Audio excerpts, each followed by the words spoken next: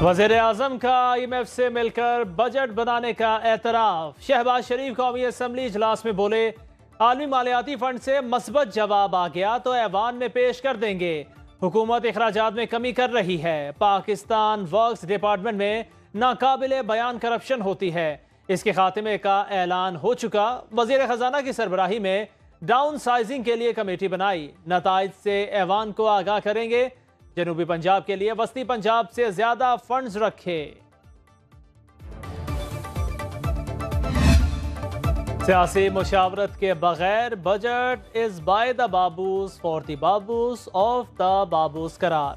بلاول بھٹو کا قومی assembly budget session سے خطاب، بولے، دودھ اسٹیشنری اسٹنٹ پر سیلز ٹیکس بابو ہی لگا سکتا ہے سیاستدان نہیں۔ وفاقی ترقیاتی بجٹ مل کر بنانے پر عمل نہیں کیا گیا۔ ایسی پالیسی لانا ہوگی جس سے ٹیکس اور ریونیو میں اضافہ ہو۔ ابھی تک سترہ اٹھارہ وزارتیں ختم نہیں کی گئی۔ آگے بڑھنے سے پہلے پرانے وعدوں پر عمل درآمد کیا جائے۔ نئے پولیٹیکل انجینئرنگ کا ادارہ ہے۔ اس کا خاتمہ ہمارے منشور کا حصہ۔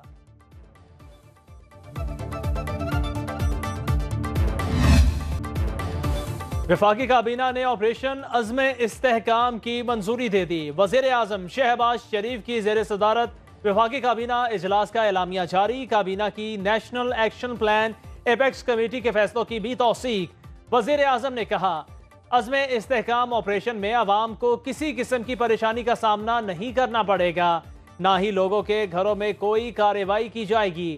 صرف چرپسند عناصر کے خلاف انٹیلیجنس بیسڈ کارروائیاں ہوں گی۔ نیشنل ایکشن پلان کا تسلسل ہے یہ۔ پیپلز پارٹی کا آپریشن، عزم استحکام کی حمایت کا فیصلہ۔ فریقین کو اعتماد میں نہ لینے پر تحفظات کا اظہار۔ ذرائع کے مطابق، پیپلز پارٹی نے حکومت کو فیصلے سے آگاہ کر دیا۔ پارلیمانی پارٹی نے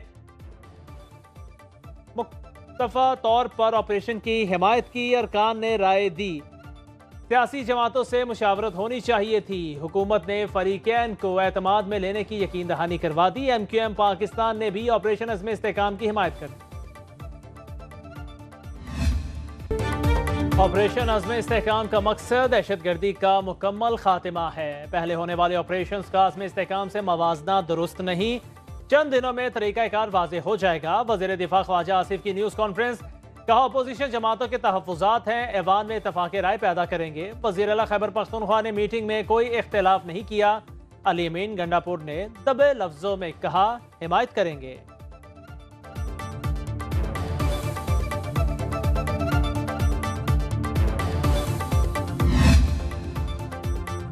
امریکہ کی پاکستان کی دہشت گردی کے خلاف کوششوں کی حمایت۔ امریکی محکمہ خارجہ کے مطابق خطے کی سیکورٹی کے لیے پاک امریکہ مفادات مشترکہ ہیں۔ امریکہ پاکستان کا شراکت دار ہے، ترجمان میتھو میلر نے کہا، دہشت گردی سے نمٹنے اور شہریوں کے تحفظ کے لیے پاکستان کی کوششوں کی حمایت کرتے ہیں۔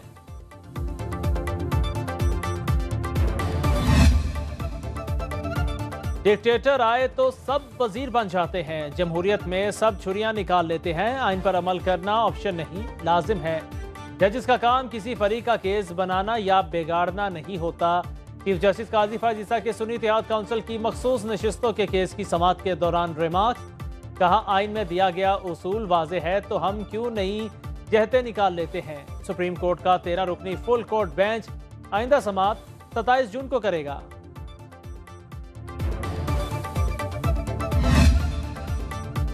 سنی اتحاد کونسل کی مخصوص نشستوں کے کیس کی سماعت کے دوران جسٹس عائشہ ملک نے ریمارکس دیے۔ مخصوص نشستیں متناسب نمائندگی کے اصول پر ہی مل سکتی ہیں۔ جسٹس منصور علی شاہ نے کہا، سپریم کورٹ کا کام ہے عوام کے حق رائے دہی کا دفاع کرے۔ الیکشن کمیشن کسی کو از خود کیسے آزاد قرار دے سکتا ہے؟ جسٹس اطر من اللہ نے کہا، ایک دن ہمیں کہہ دینا چاہیے، بہت ہو چکا۔ ہاں، آئین کے خلاف ورزی پر آنکھیں بند نہیں کر سکتے۔ ایسا نہیں لگنا چاہیے، کوٹ بھی ملی ہوئی ہے۔ جسٹس جمال مندخیل نے کہا، وابستگی ظاہر کر کے جماعت تبدیل کرنے والا نااہل تصور ہوگا۔ پی آئی اے کی نشکاری کے لیے بیڈنگ اگست کے پہلے ہفتے میں ہوگی۔ وزیر اعظم کی زیر صدارت کابینہ اجلاس میں بریفنگ شہباز شریف کی نشکاری کا عمل تیز کرنے اور شفافیت یقینی بنانے کی ہدایت۔ کابینہ نے چینی کی کھپت اور ذخائر کا تخمینہ لگا کر برآمد کی منظوری دے دی۔ وزیر اعظم نے کہا، چینی مہنگی ہونے کا اندیشہ ہوا تو مزید برآمد روک دی جائے گی۔ کابینہ نے ای سی سی کابینہ کمیٹی برائے قانون سازی اور کمیٹی برائے حکومتی ملکیتی اداروں کے فیصلوں کی توسیع کر دی۔ سولر پینلز پر کسی قسم کی نئی ڈیوٹی نہ لگانے کا فیصلہ۔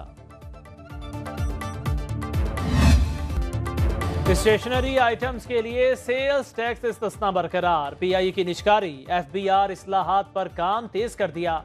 وفاقی وزیر خزانہ محمد اورنگزیب کا قومی اسمبلی میں اظہار خیال۔ بولے خیراتی ہسپتالوں کو سیلز ٹیکس سے استثنا دینے پر غور کر رہے ہیں۔ قیمتوں میں بگاڑ پیدا کرنے والی سبسڈی کا خاتمہ کیا جائے گا۔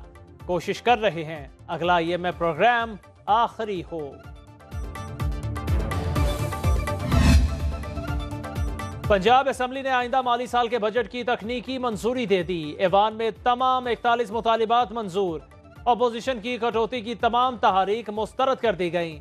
پنجاب اسمبلی آج فائنانس بل کی منظوری دے گی، جس کے ساتھ ہی بجٹ کی منظوری کا عمل مکمل ہو جائے گا۔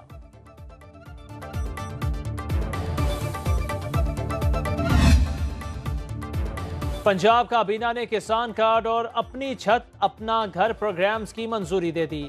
وزیر اعلیٰ مریم نواز کی زیر صدارت اجلاس دور دراز علاقوں میں ڈاکٹرز کی فوری تعیناتی اور الاؤنسز بڑھانے کی منظوری۔ اوورسیز پاکستانیوں کو جائیداد کی منتقلی اور دیگر ریونیو سروسز کے لیے رجسٹریشن ایکٹ میں ترمیم لانے کا فیصلہ۔ چنگچی اور رکشے کو بتدریج متبادل ماحول دوست ٹرانسپورٹ پر منتقل کرنے پر اتفاق۔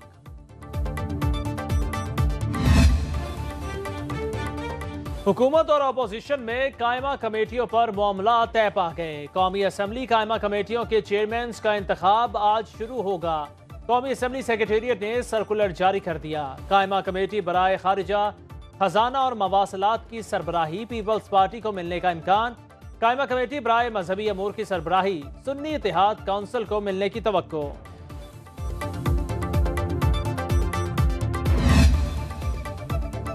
لوڈ شیڈنگ اور ظالمانہ بجٹ کے خلاف ملک گیر مزاحمتی تحریک کا آغاز کر دیا۔ جماعت اسلامی کا اتحاد پچیس کروڑ عوام کے ساتھ ہے۔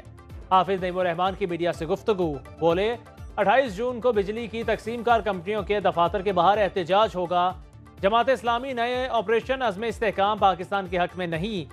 افغانستان کی سرزمین کسی بھی صورت بھی دہشت گردی کے لیے استعمال نہیں ہونی چاہیے۔ نواز شریف چیمپئن ہیں۔ تو اپنی نشست چھوڑ دیں۔ جو انہیں دھاندلی سے ملی۔ کراچی سے پشاور تک بجلی کی لوڈ شیڈنگ سے برا حال۔ گرمی کے سطح شہری بل بلا اٹھے۔ کراچی کے مختلف علاقوں میں چودہ گھنٹے تک بجلی غائب رہنا معمول۔ پشاور میں دس سے بارہ گھنٹے۔ مضافاتی علاقوں میں اٹھارہ گھنٹے تک لوڈ شیڈنگ۔ لاہور کے مختلف علاقوں میں دورانیہ چھ گھنٹے تک پہنچ گیا۔ ملتان کے شہری علاقوں میں چھ گھنٹے۔ دیہات میں دس گھنٹے تک بجلی بند رہتی ہے۔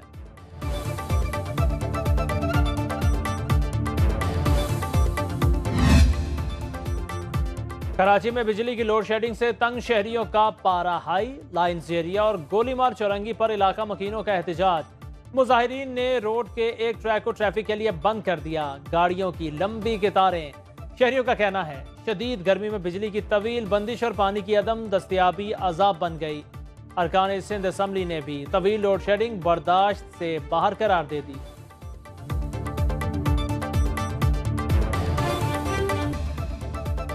کراچی میں قیامت خیز گرمی سے غیر معمولی اموات۔ امدادی اداروں کے سرد خانے میتوں سے بھر گئے۔ چار روز میں عیدی کے سرد خانوں میں چار سو سینتیس میتیں لائی گئیں۔ دن کے اوقات میں گرمی کی شدت انچاس ڈگری تک محسوس کی گئی۔ سول اسپتال میں ہیٹ اسٹروک کے ایک سو پچاس مریض لائے گئے۔ محکمہ موسمیات کی کراچی اور لاہور میں معمول سے زیادہ مانسون بارشوں کی پیش گوئی۔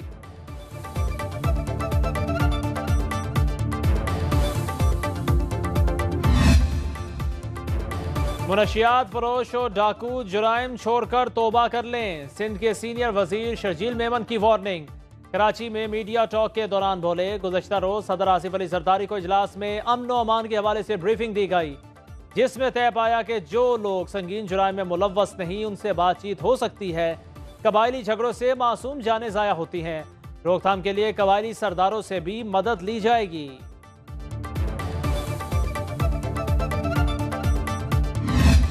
پشاور میں جائیداد کے تنازع پر گولیاں چل گئیں۔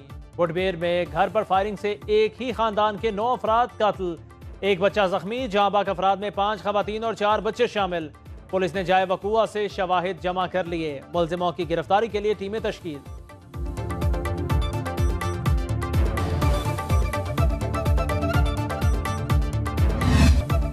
ٹی ٹوینٹی ورلڈ کپ کی سیمی فائنل لائن اپ مکمل۔ افغانستان کی بنگلہ دیش کو شکست دے کر ٹاپ فور میں رسائی۔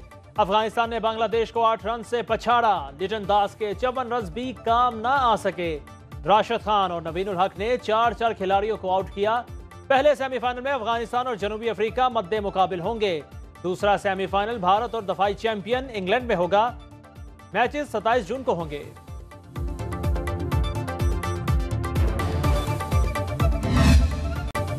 اور جرمنی میں یورو فٹ بال کپ کے احساب شکن مقابلے جاری۔ دفاعی چیمپئن اٹلی اور کروشیا کے درمیان سنسنی خیز میچ ایک ایک گول سے برابر ہو گیا۔